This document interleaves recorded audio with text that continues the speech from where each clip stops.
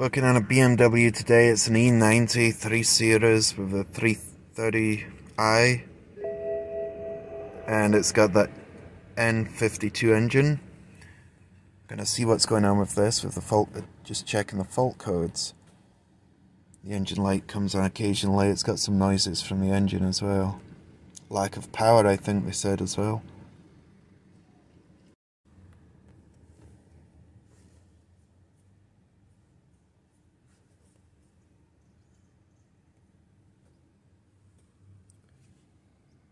Crankshaft exhaust camshaft reference and it's in it's a 2 alpha 99 so it's to do with the Vanos I'm going to bring up some live data on that see what's going on. If there's anything with the Vanos there it is. Vanos I'll just bring all of these up.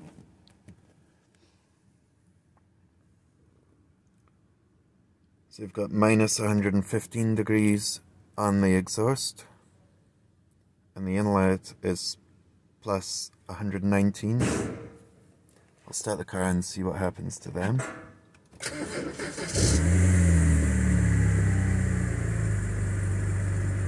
The inlet's moving a bit. Very slightly. The exhaust isn't moving at all so I'm not sure if it's being controlled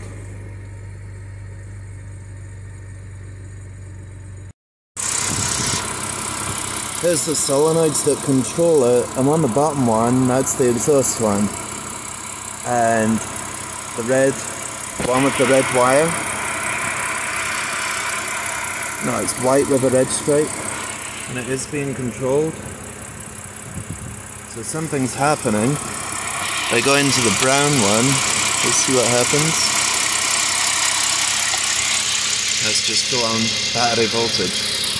So solenoid appears to be getting a control. There's no dipstick, so I'm going to just go by this. Engine oil level is okay. I can also go by it on the dash here. I've removed the oil pressure, so the level's okay. So I'm going in to see what this is by removing the oil pressure sensor, going into where that is here from this kit. I'm going to start the car and see what the pressure is.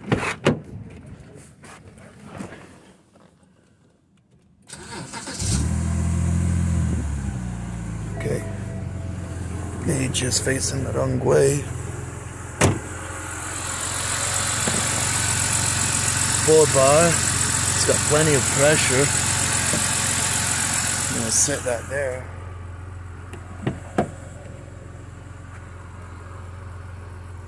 Just pick the revs up a bit.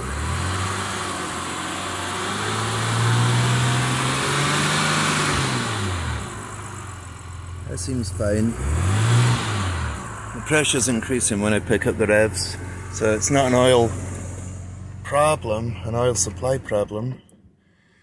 So what I need to do now, what I need to do now is fit the timing pins. I was thinking about doing it cam crank correlation, and I thought with variable valve timing, especially with a known fault on one of them that's flagging a fault code, I think the exhaust camshaft um, position to the crank is not where it wants it to be and that's why we're getting that fault code. So the solenoid works, I've taken it out and activated it with the power probe and it, you can see the inside bit of it moving. So the solenoid's working, it's got good oil pressure and it's full of oil. So the next thing to check is the tire that's really all that's left. It's being controlled. I'll check the timing and see what's going on with that. It may be a stretched chain. Here's the timing kit that I'm using. I've put that in there, TDC mark. On this one I've adjusted it so that it's on 12 stripes coming up. Because the pin is quite tight and it's awkward to get to. So at TDC, this one lines up, that's the intake, and the dowel would line up. This one, it's not quite there. I can't get the dowel in either, so I'll see if I can adjust this this one cam and see how I get on there and if I build it up. It did say it was out of alignment on the exhaust side and that's what the timing pins are saying as well. I'll see if I can adjust it. You do have to take quite a bit off though. All of this that you see lying over there. That's all got to come off to do it. It's a bit of a nightmare just to check the timing. Backed off the 16 mils and managed to align it up. That's how it should look. So that's in there flush. That's in there flush so we know it's all tight. And so is that. There's a dowel here and then there's these two points that go into the sprockets at the front.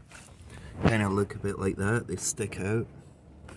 So that lines up it's all in time. So I'm going to tighten them turn it two turns round on the crank see if the pins will still go back in and if they do there's my TDC mark 12 stripes uh, if, the, if it all lines up I'm going to build it up but that matches the fault code the exhaust one was out of time and that's what the fault code was. That's the part number, it looks like YAL866. I've had it for a long time so the, the writing's faded a bit. It's the extended DTC indicator, dead center indicator, that thing. That's just how it works, you just press the the piston presses that up and you just see where it gets to the top. In case anybody was wanting one. That's it back together again? If you want to remember which way these go the way I remember is there's two solenoids they're both the same. And the top one's for the oil control of the Vanos right and the inlet and the bottom one's for the control of the exhaust so I think of when you're doing an oil change and you know you take the the oil goes in at the top and you take it out at the bottom of the car. So I remember it that way. In is at the top and out is at the bottom. And the red striped, if you want the wires to be in the right place, the red stripe is going to be for the exhaust. So like red for hot. And the other one above it has a blue stripe. So that would be like cold, cold air going in, hot air going out. It's just how I remember it. Might help you if you ever need to remember which was which, if you can remember. Now I'll see if it's working. Hope this worked. No fault codes. The engine is running. I've got no fault codes. So let's look at the data stream. See if there's any change here. Select all. Ah, that's changed it's minus 1.8 and it's moving now. So we have got a change going on here. I'm going to have a look at the car at the front.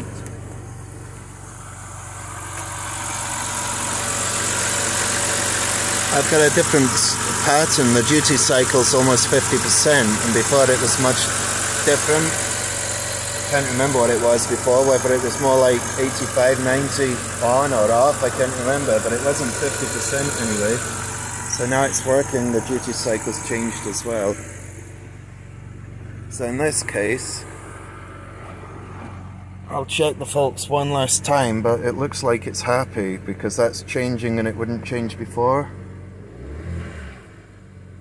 Rev it up. Wow, that soon revs up there.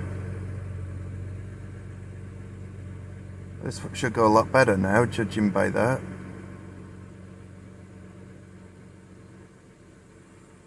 Right, let's see fault codes one last time. No fault codes. Good. Couple of things to note though, when you're doing this, the chain's obviously stretched for it to be out of sync, so you need a chain and the bolts that you back off and adjust the timing are one-time use only as far as I know, so they need to be done as well. You would replace them at the same time. This was just to prove what the fault is, and I think it's proved it quite nicely. Thanks for watching, hopefully this was helpful to somebody.